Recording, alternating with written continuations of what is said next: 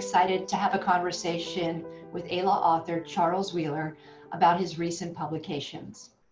Charles Wheeler is an attorney with Catholic Legal Immigration Network, Clinic, in Oakland, California, and directs its training and legal support section.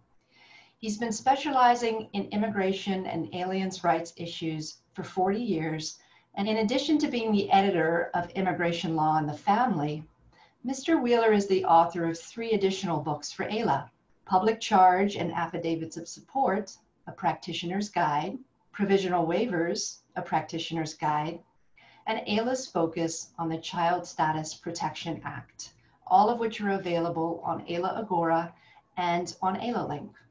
Charles, thanks for taking time out of your day to speak with us about your publications.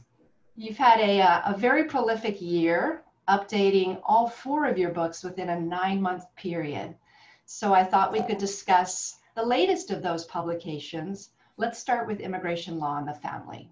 Who would benefit from this book and what can readers expect in terms of scope and format?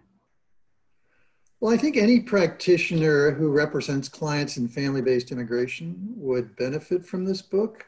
Uh, it tries to focus on the most common issues that uh, petitioners and applicants are going to face in this whole process. Uh, it provides really a step by step guide starting right from the beginning in terms of who's eligible to immigrate. Uh, it then goes on to talk about the forms, documents that they're going to need, how to obtain those documents, how to complete the forms, gives a lot of sample cover letters, uh, sample motions, and it really also focuses on determining pitfalls. In other words, it talks a lot about potential grounds of inadmissibility, potential problems, uh, and really sort of prepares people not only for those issues, but also for preparing for interviews, both at the consulate and the uh, USCIS adjustment of status. So really sort of goes A to B from every stage of the process. I would say that goes A to Z, Charles. It's one of our more popular books.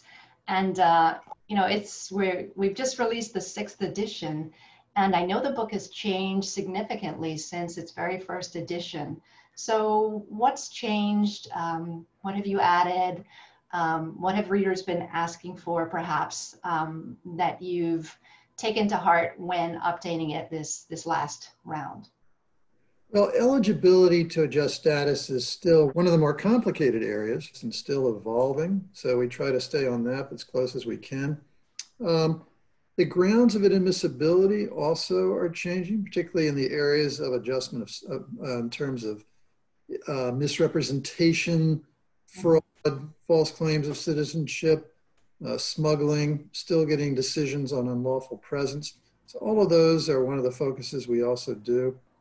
I think as a result, the book has gotten longer over time. It's gotten more detailed, uh, and it really tries to focus on those areas that are probably the most common uh, that practitioners are facing. So I'd like to think that it's gotten better. I think it has gotten better, uh, and it was a wonderful book to begin with. So um, thanks for kind of going into a bit of detail there. And um, readers sometimes ask, uh, what need does this book fill, for example, that other books on its topic don't fill? Why should I get this particular book? And how would you answer them? Well, the sixth edition really focuses on those most recent changes in immigration law. So, for example, the affidavit of support, the public charge has gotten a complete makeover.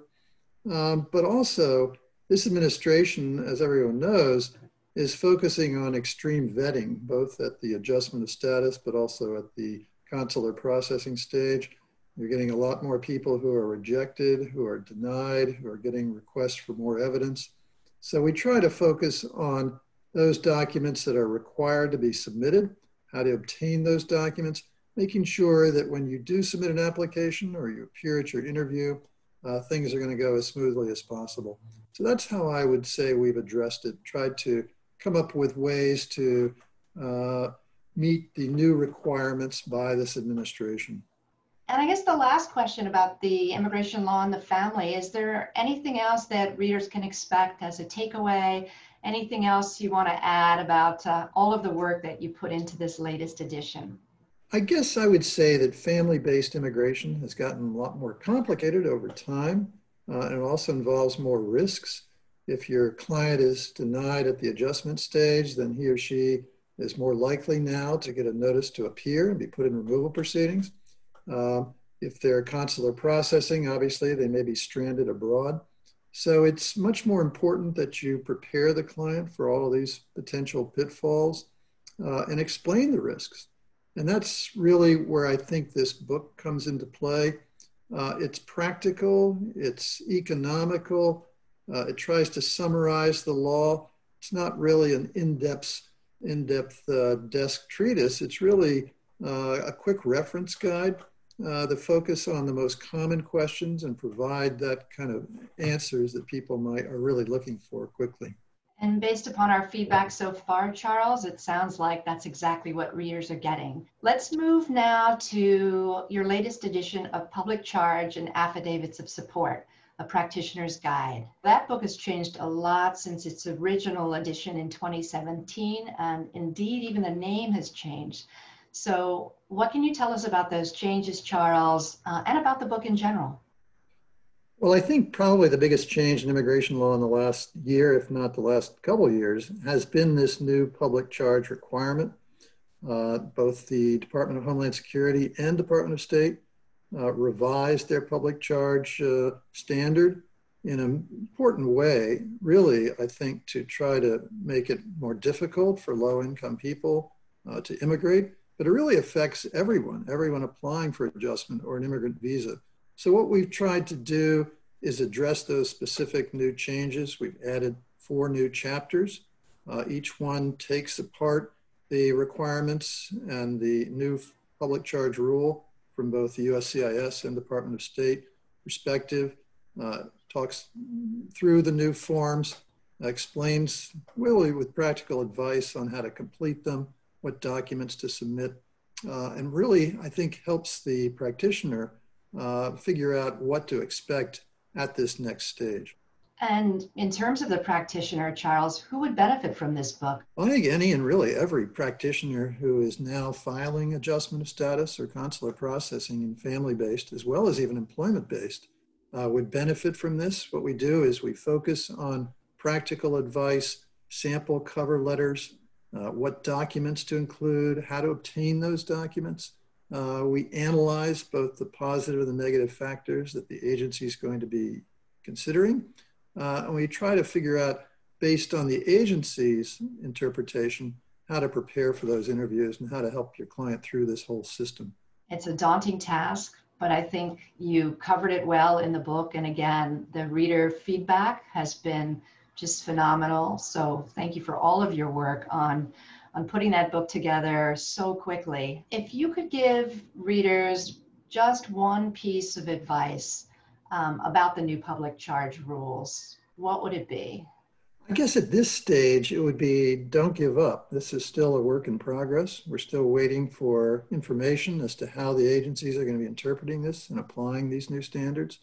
Uh, and I would say that it is a balancing of positive and negative factors. So don't get discouraged when you have a client who is currently unemployed, uh, may have a health related problem, maybe, maybe retired.